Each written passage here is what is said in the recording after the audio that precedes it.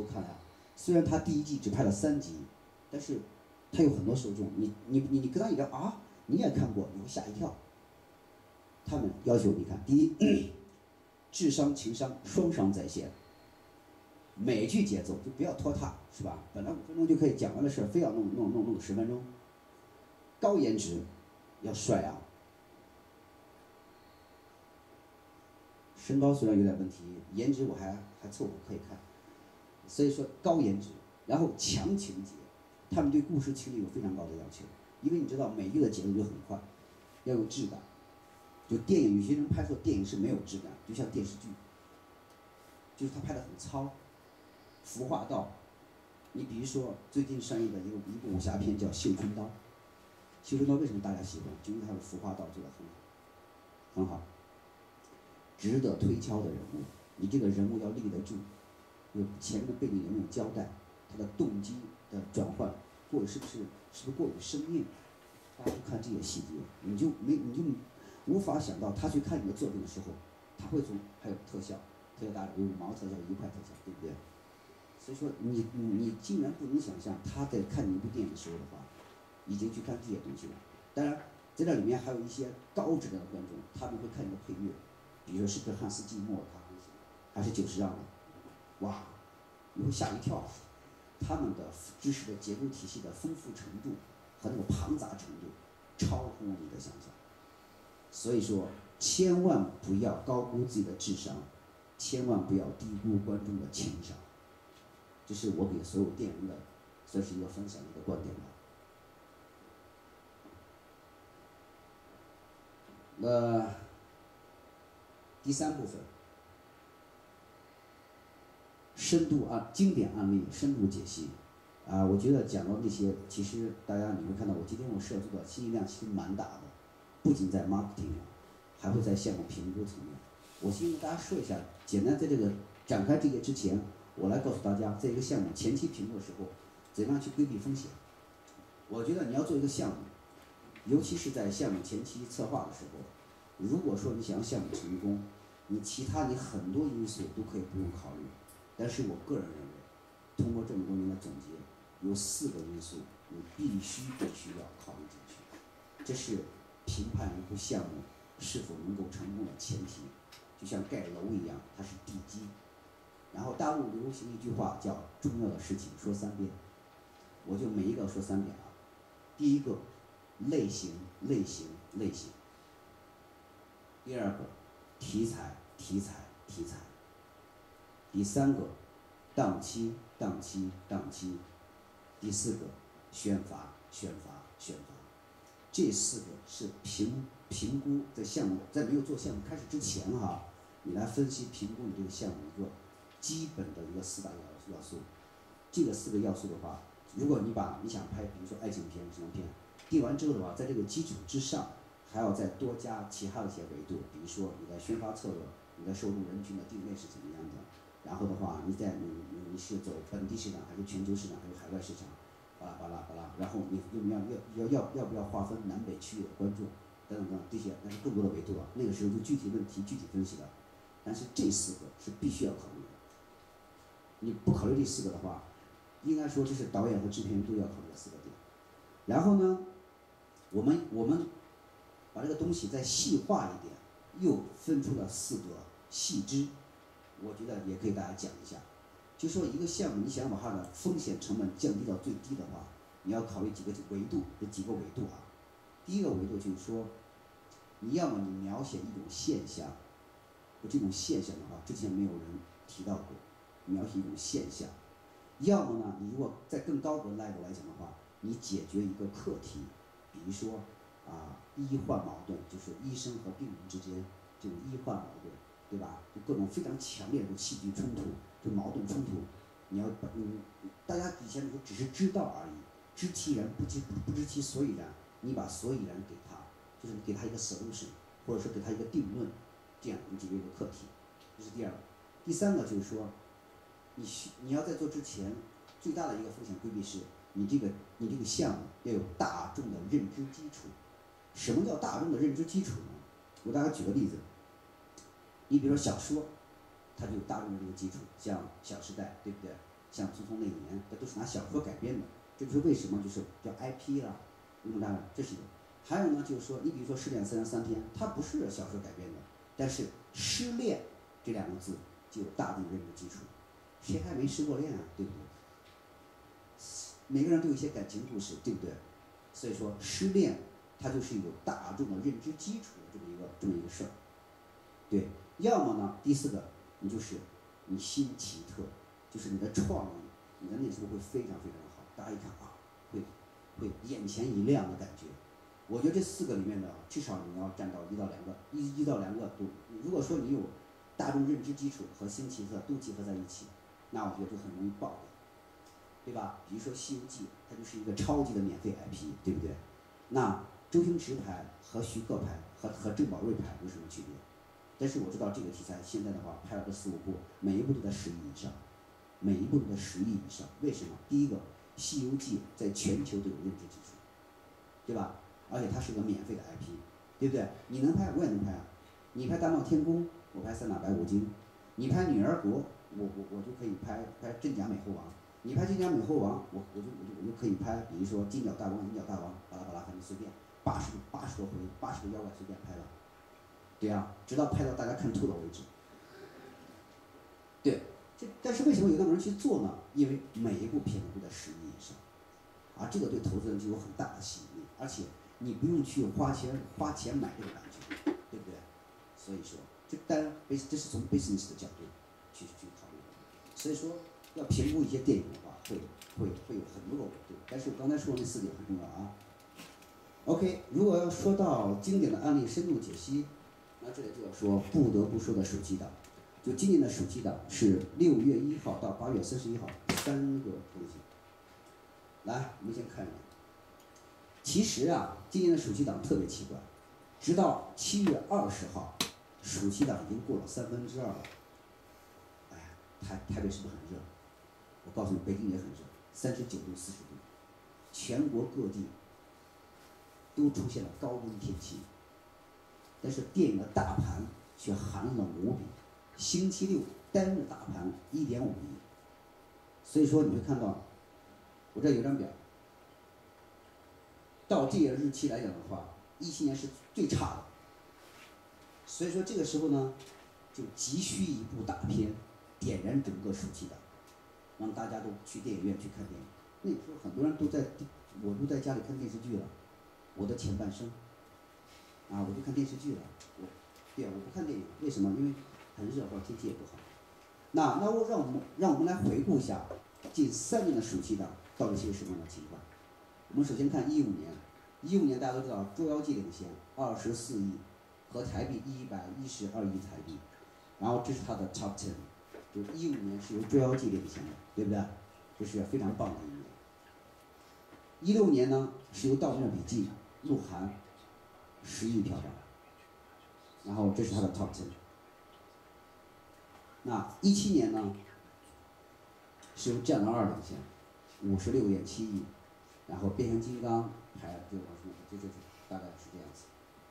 这是一七年的，那你对比完了之后，你会发现，一五、一六、一七，一七年为什么会这么好？就是因为《战狼二》，如果没有《战狼二》，一七年的暑期档甚至还比不过一六年和一五年，对吧？因为一部《战狼二》就卖到了五十六亿票房，这个是很很厉害的点。OK。我不知道大家有没有看过《战狼二》，所以呢，今天，ladies and gentlemen，so I prepare a trailer for you，大家可以欣赏一下，好不好？这个我得稍等一下，我我需要切换一下啊。啊，我，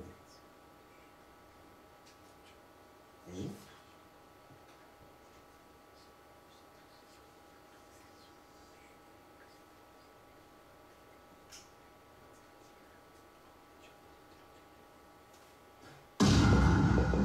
know, they say violence never solves anything.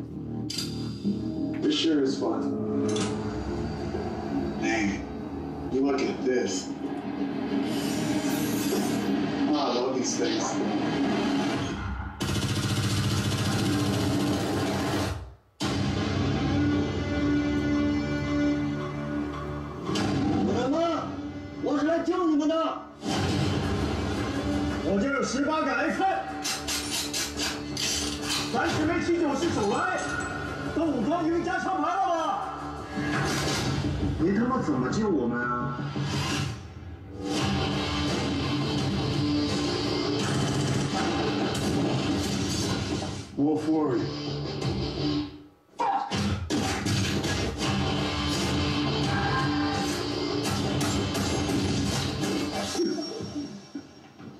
男人就该玩这个。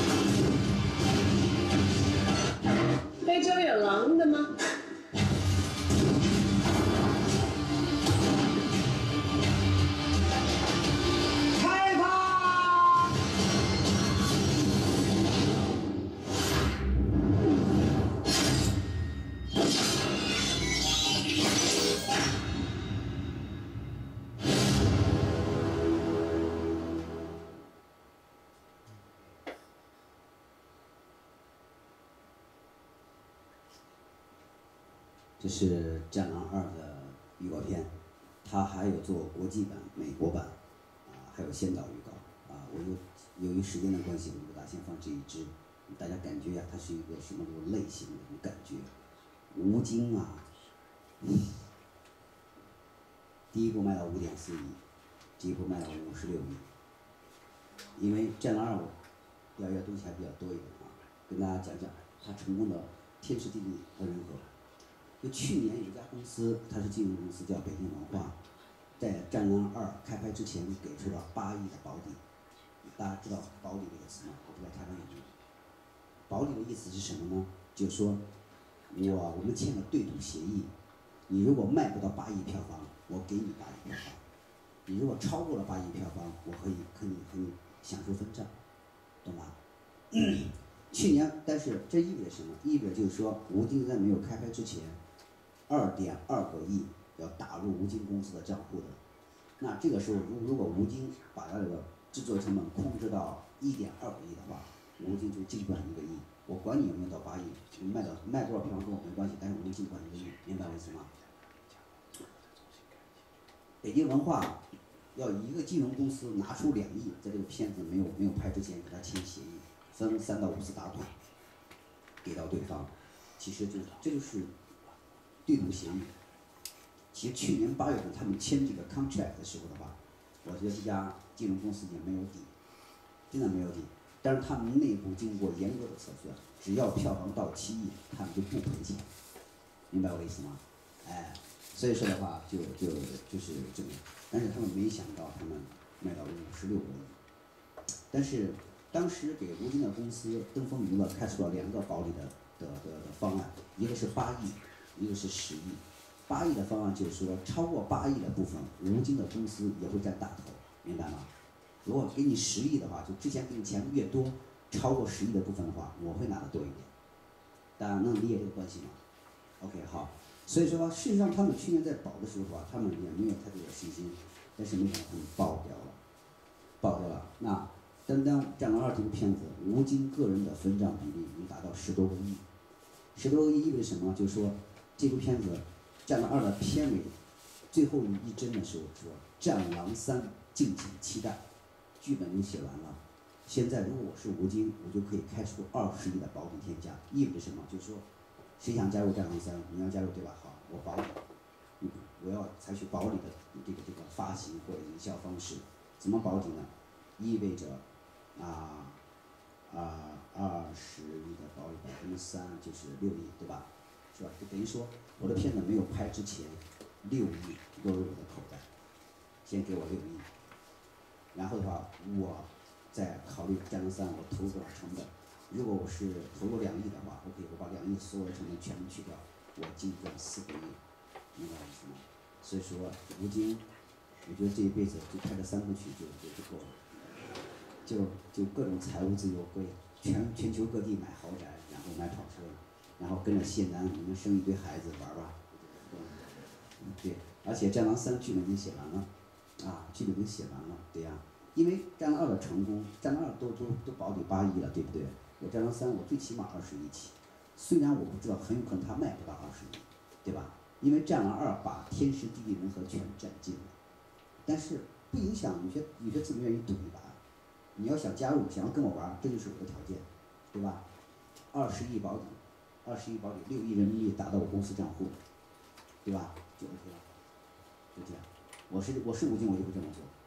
六亿六亿之后的话，制作成本依然是两亿的制作成本，四亿先落入我的口袋，就是这比较踏实嘛，对不对？OK，所以说的话。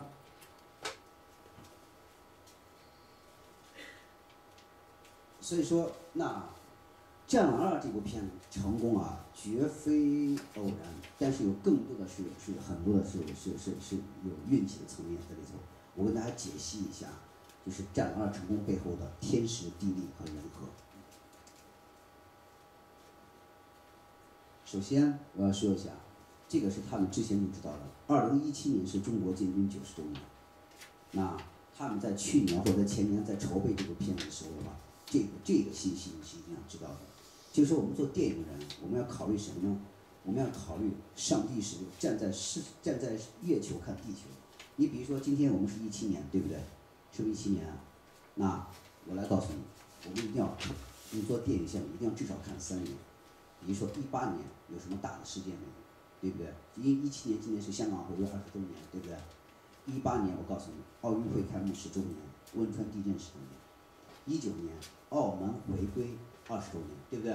所以说你就，我觉得王晶就可以拍《澳门赌澳门风云四》了，《澳门风云五》啊，连连连两部连着拍，至少每一部都十亿起，因为大环境。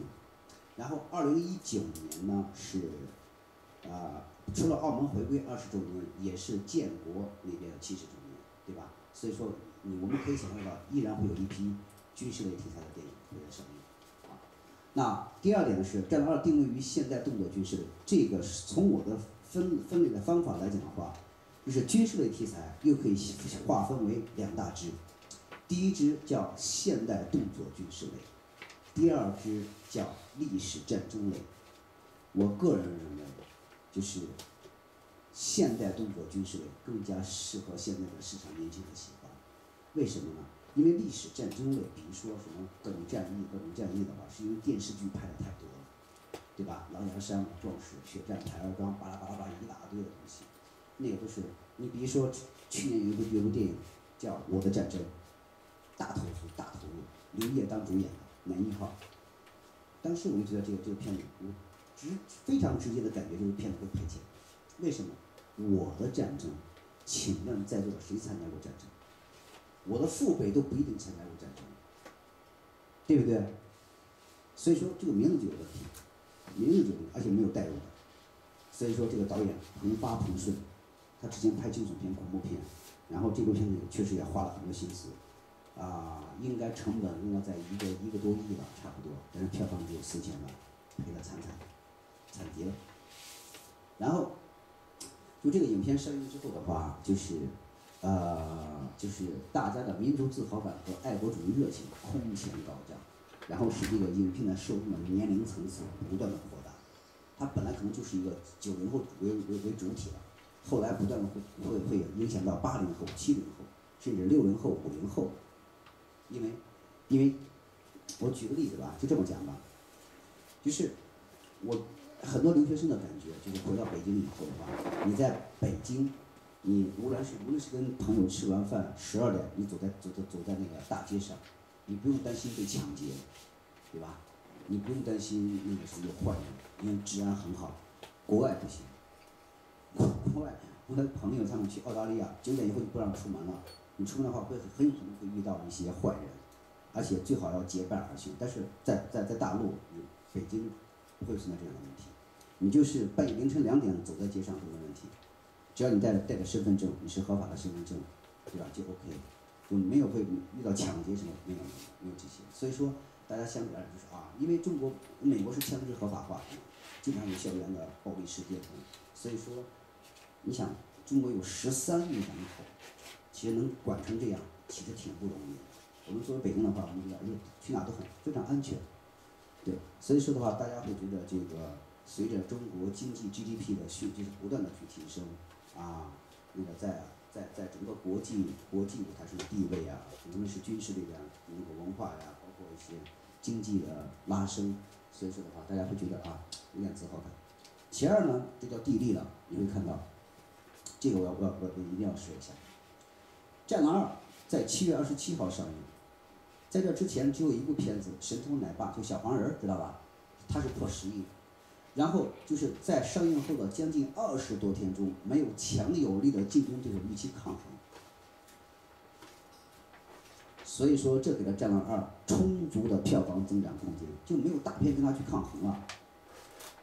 然后再加上密钥的延期，密钥延期就是说，大家一看这个片子卖的这么火，总局说好，再给你一个月延长一下放映时间。是吧？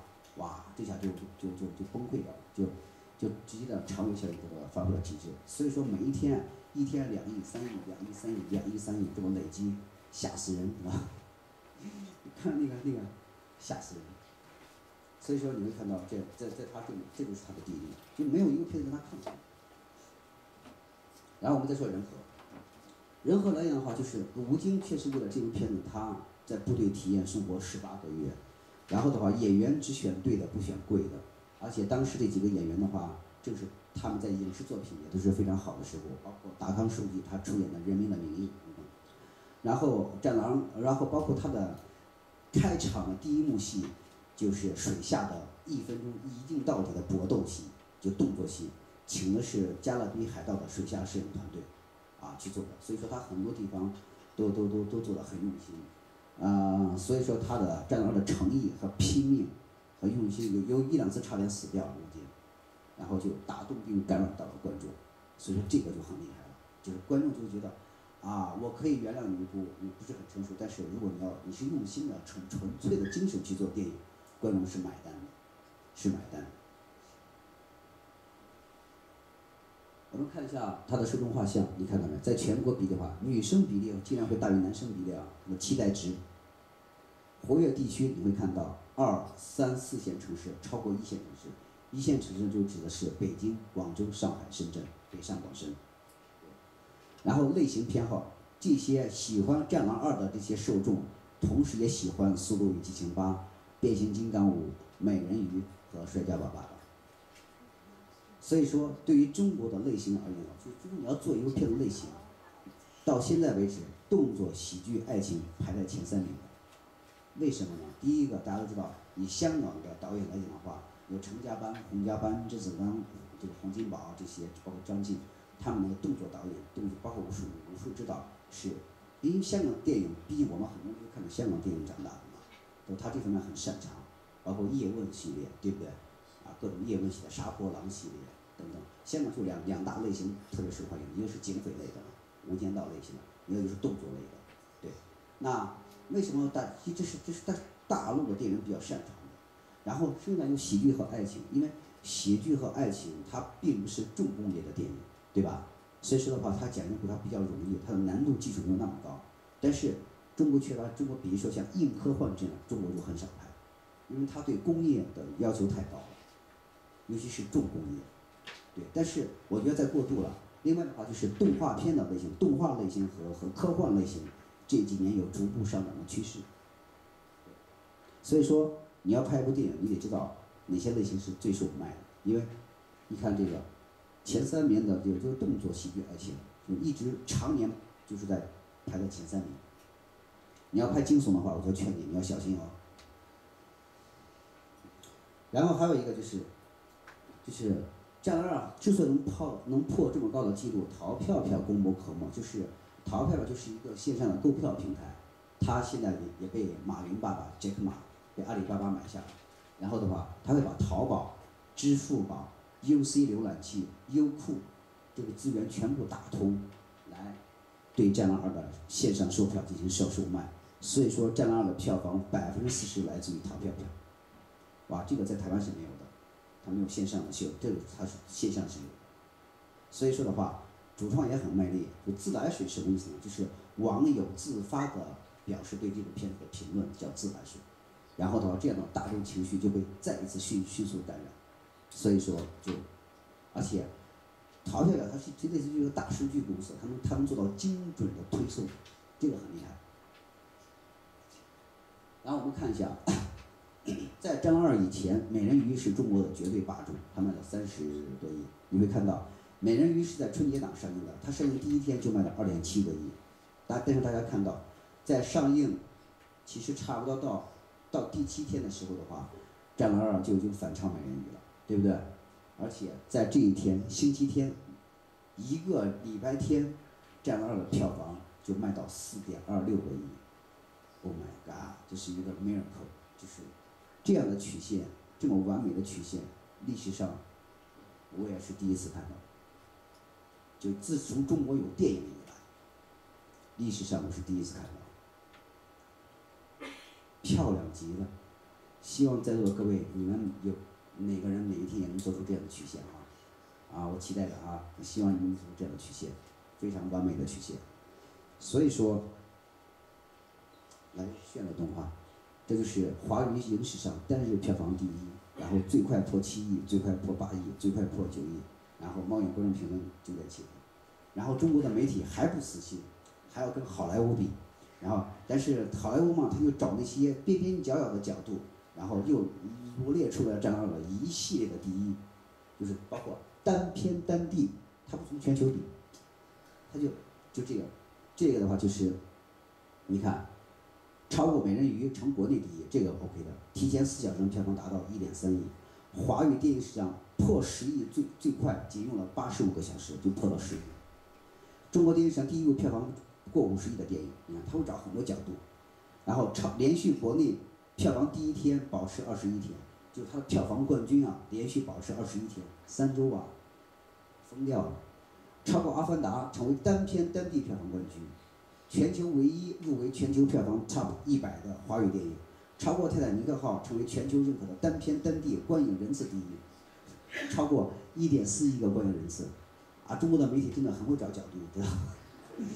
他因为他觉得自豪啊，他就找啊，那全球比不过《阿凡达》，我们可以单片单地可以啊，对，就是单一的市场，对吧？单一的影片可以的，所以呢，这就是。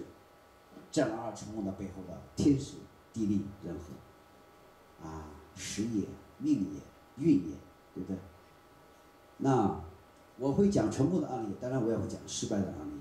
其实对于我来讲的话，我研究过的失败的案例超过五百家，深度复盘，就是这部电影从头到到尾为什么失败，我会我会进行历史复盘、深度研究，然后把核心经验会纳入到我的数据库里面，就各种类型都有。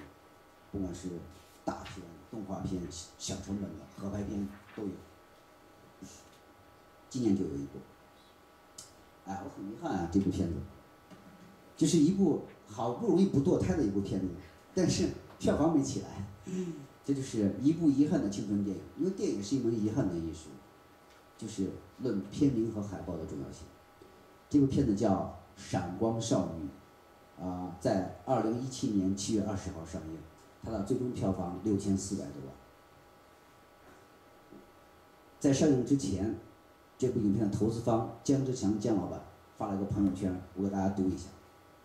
我曾经说过一句话：每部电影都有它的命，有些电影是含着金钥匙长大的孩子，注定会受万千宠爱。我知道《闪光少女》生来就是一个苦孩子，没有流量保证，没有飞机大炮，没有爆破场面。但是他是一个很争气的孩子，虽然弱小，从未放弃，踏踏实实一步一步赢得人心。我很为他骄傲，但也很心酸，由衷希望大家帮我一起照顾他，让这些其貌不扬但真心诚意的电影获得应有的生存空间。为什么姜志强就？我觉得这这就是大佬的前瞻性了。在影片上映前一个多礼拜，他已经发朋友圈。你知道姜姜志强曾经投资过一部电影叫《海洋天堂》，有没有听过？就是李连杰、Jet Li 和那个文章演的。这是薛晓路，就大陆的一个女导演，找到姜志强去投资。商业上虽然不是很成功，但是姜志强非常开心。为什么？这是一部关注自闭症儿童的电影。上映以后的话，香港很多市民拉着横幅跑到姜志强公司他们下面，那个鞠躬作揖。就说感谢你拍了这部电影，让全社会能够关注自闭症儿童，对不对？然后当时的话，薛晓路找到姜志强，姜志强就告诉他，如果这样的题材必须要用大卡司来演，才能引起社会的广泛关注，广泛的关注。你想想看，如果是《海洋天堂》，这名字就很文艺，你换两个新人来演，你看看他票房一定不会好，会更糟糕。但是正正是由于李连杰和文章的组合，这对父子组合，让全社会关注到自闭症儿童，所以说这是一部功德无量的片子。姜志强说：“这部片子商业上我失败了，没问题，我在其他项目完全可以赚得回来。”所以说，薛晓路的第二部电影《北京遇上西雅图》依然找姜志强，姜志强依然投资，并没有因为第一部的失败而而而拒绝他，第一部就卖到了五亿。《北京遇上西雅图》第二部在大陆上映八亿票房，想赚钱分分钟的事儿。对，姜老板。那这部电影的话，他其实之前就就是因为他对中国电影市场的深度了解。但是也很奇怪，既然他能够提前预预预料到这部片子票房不好，我就纳闷为什么后期可能没有做一些补补补救的措施呢？这是我比较疑惑的地方，可能是是其他公司做还是怎么样，在宣发层面，大家看一下啊。闪光少女的竞争格局，前一天是绣春刀，它是七二零上映，战狼二是七二七，意味着什么？意味着闪光少女的生存空间只有七天。如果你的口碑在第三天不能弥漫全国的话，到这一天，你就你的排片会被会被砍砍半，最低砍半。所以说，闪光少女的生存空间只有七天。那在这个时候，你的营销如果在七天不能爆起来，你就就就没有机会了，就永远没有机会了。市场就是这么的残酷。为什么？因为七月二十七号，《战狼二》和《金陵大业》上映。今天大业，我们公司做了参与了后期和制作，对，参与后期和声音，对。那你看看，《闪光少女》的排片，你会看到，在《战狼二》上第一天百分之八十，呃，百百分之八点一。等《战狼二》上映的时候的话，上映前一天六点六点四，等它上映当天就变成三点四，马上就变六点八。然后后来以以以以以一点零甚至是零点一的排片维持了很长时间，卖到了六千多万。我想说，如果这个片子让我去做 marketing 的话，我能让它卖到一亿，我能让它卖到一亿，我有这个信心，至少有这个希望吧。那是什么？因为什么？因为你看，这这是他们所有的 marketing 的公司做的一张图，新媒体图片，说啊，就是跪求排片吧，就说再不看就真的错过了。真的就这个说啊，排片是我要的，预告片是我剪的，海报是我做的。片名是我起的，稿子是我写的，二次元是我推广的，就是这个是当时在就是新媒体新媒体营销这个图片非常，我的朋友圈被刷屏了一张图片。但是网友怎么认知呢？你看一下，这是微博评论，大家知道微博吧？OK，这个预告加海报加名字就等于绝对不会去电影院看的那种。所以我告诉你啊，片名很重要。你们在做影在做电影项目的时候，名字一定很重要。如果你不知道哪个名字名字最嗯怎么起，很简单，你做 A B C，你起三个名字，你你你匿名调查问卷发两百分。如果大家百分之八十都选的是 B，你就不要纠结了，就不要说啊我一定要选择 A，我就要选择 A。你百分之八十的观众选择 B 的时候，就这就代表很多问题了。很简单啊，但是很很少人在上面花花功夫。如果你做的再厉害一点，我可以用把那问卷调查的量，我可以用用用用那个网络的形式，比如在大陆，我可以发四十万份，我可以覆盖中国一百个城市，对吧？这样的话，我南方、北方区域大家都有没有有没有偏好？其实就花十万或者是就是差不多十来万就搞定，这种钱是值得花的。千万在这个层面，就是在一个项目前期的 research，然后然后包括这个调研 analysis 这份的话。千万不要舍不得花钱，因为这个时候花了钱，也许在后面能帮你赚赚大钱。对你千万不要自以为是，我就要这个名字。比如说虎列拉，你们知道什么叫虎列拉吗？没有人知道。什么类型什么题材听不出来，改成厨子、戏子、痞子，那就好卖了。就关虎导演的片子。再下一个看看猫眼评论。我的天，就冲这预告片、这海报、这片名，不不出意外的完美的错过了这部电影。发行方是要报复社会吗？这我黑锅都是营销营销公司和发行公司背的，知道吗？没办法，这就是你看看，这网友就非常好的一部电影，因为我带了我们公司所有的人去电影院，十一点去看，跟包场一样，比这个厅还大。我们就看，我说片子很不错啊，一个新导演第一次拍成这样，很不错，很不错的。为什么？哎，再看下一个，听这名字就觉得 low 的不想看。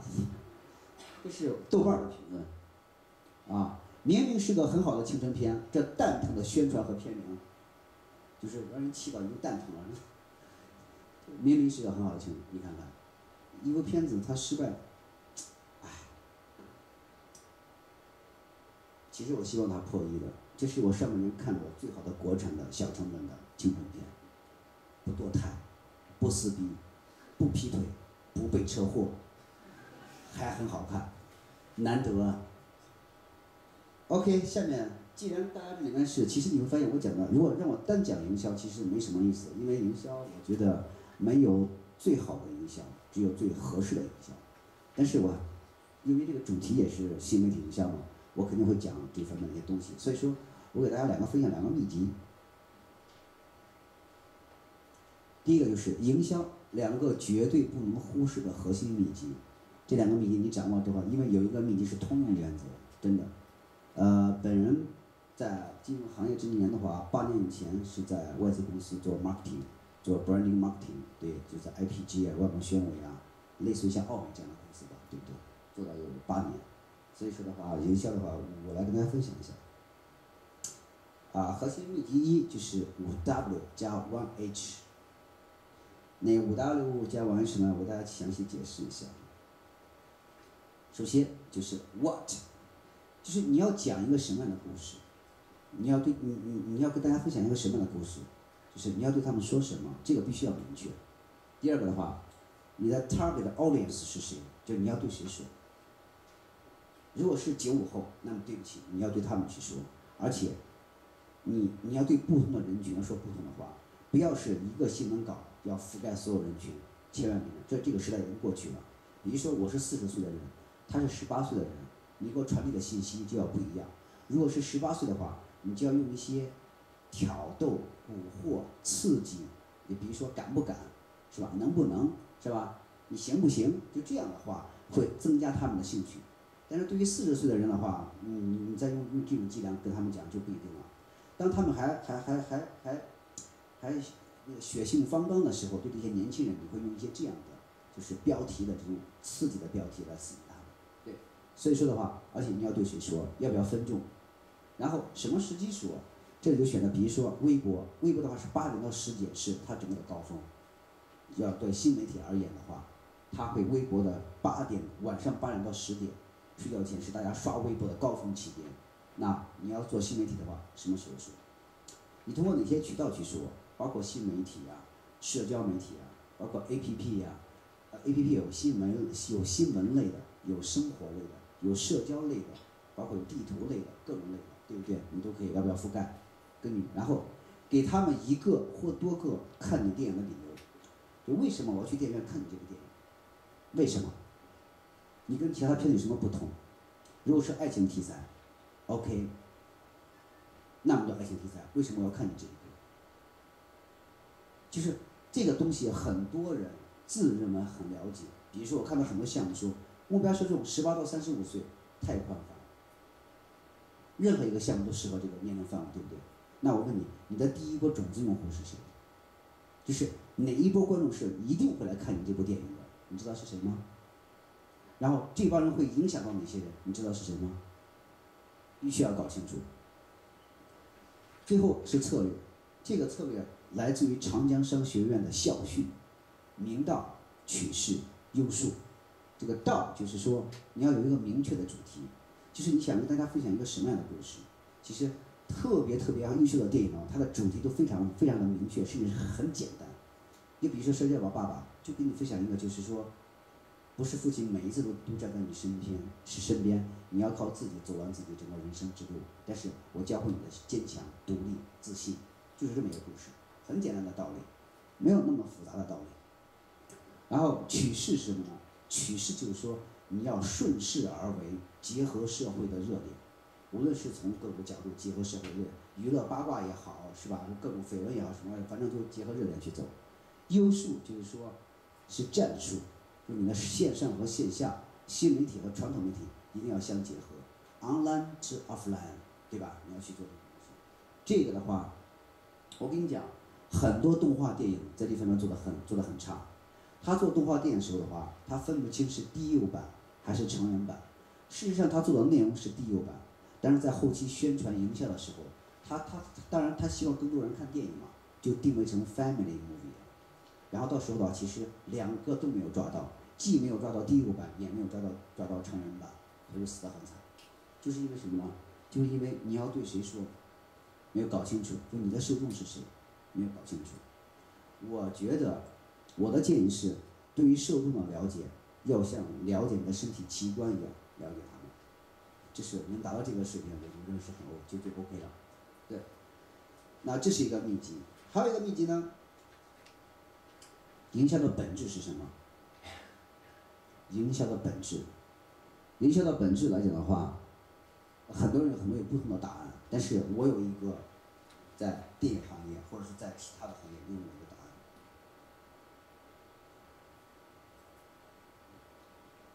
营销就等于营造加销售，一切不以销售为目的的营营销都是耍流氓。对呀，这是大陆的一句话，就是你的目的一定要是要指向销售的，就是你的转化率是多少，这是这是这是最关键的，而不是说你那个那个什么有多好。那其实就是说，营销就等于就是说，首先你要 warm up，你要营造一个非常好的能够去销售的环境，然后让你的 salesman 不管什么去卖它，然后卖的很好的一个一个一个结果一个成绩，这是最关键的。很多人就把这个忽略掉了，上来之后直接销售，那对不起，你的认知度在哪里？你的忠诚度在哪里？你的美誉度在哪里？对吧？做做个华为公司的，往往都应该知道这几个词，对不对？因为没大家没有对你没有没有没有认知，没有感情，我为什么要买你的产品？为什么？因为什么？因为你省略了一步，就是营造。营造这一步的话，长达可以一个月，短则可以可以可以一个礼拜。但是，一般的话，电影的话，我我建议是至少得三到四个月，上映前期三到四个月，要慢慢让大家有个理解，知道啊，你为什么？你就 po 一些 trailer 啊，poster 啊，你慢慢慢慢的按照节奏来走，或者做一些 event marketing，做一些线下的活动啊，把它结合起来去做，对不对？营造就等于营销就等于营造加销售。我给大家举一个非常非常典型的案例来证明这个东西哈。首先。我们看一下《熊出没》是一部动画片。动画片《熊出没》，中国有两大 IP 啊，动画片，《喜羊羊灰太狼》是一个，《熊出没》是一个。《熊出没》你会看到啊，它营造的市场环境是什么？首先第一个定位，它是它打的 slogan 是春节档内唯一的一部动画片。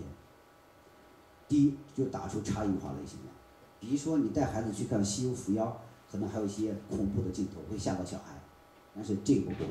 第二。春节为什么？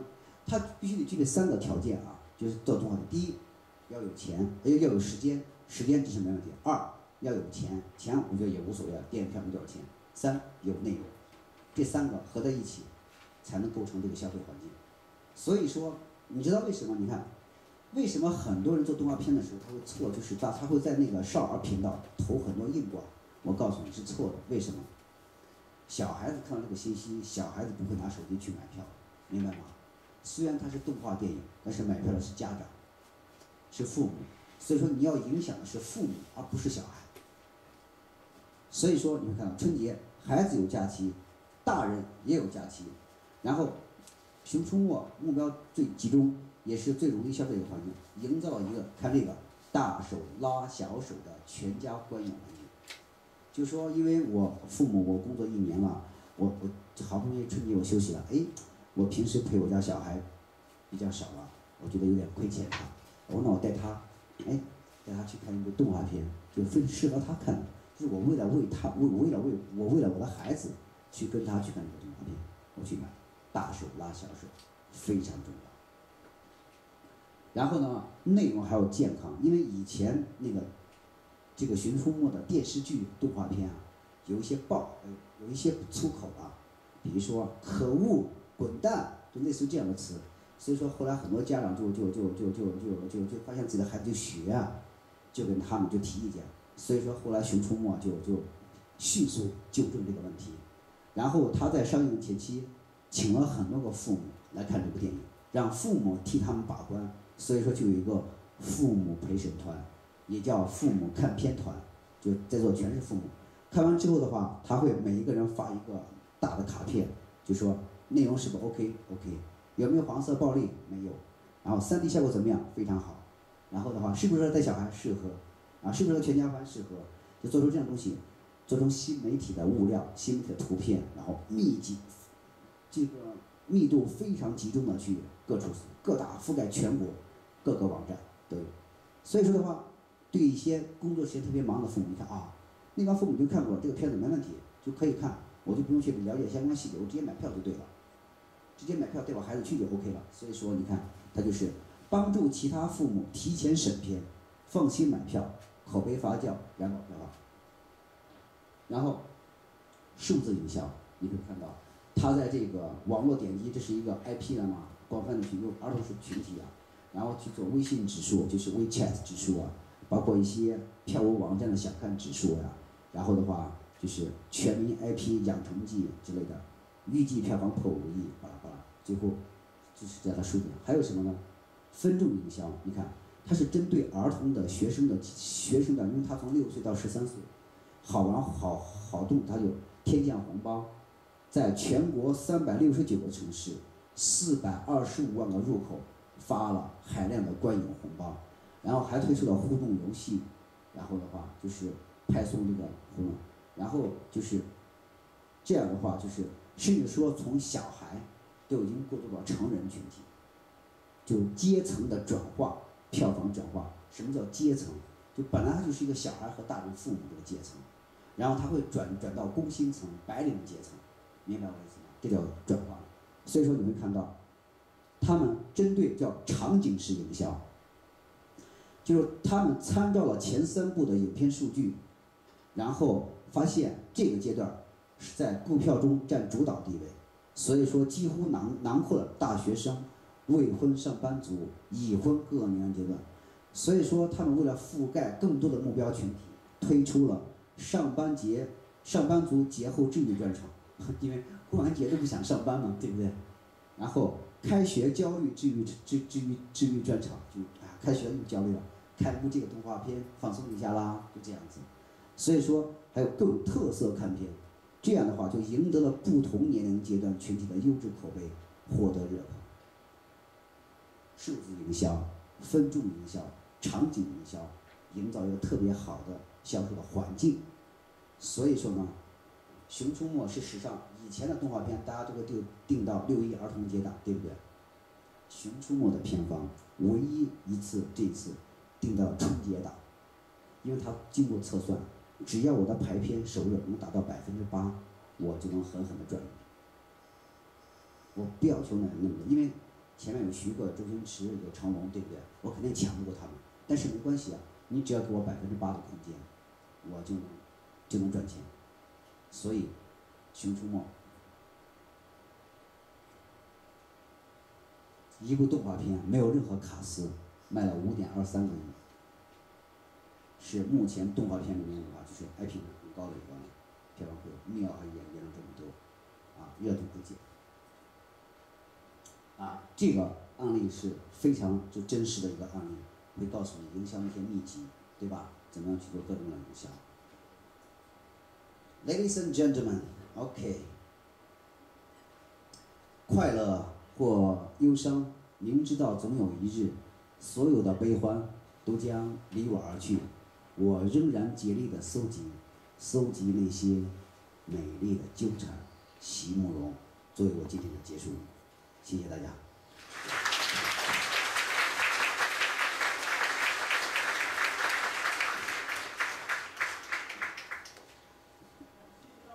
非常精彩跟内容扎实的演说。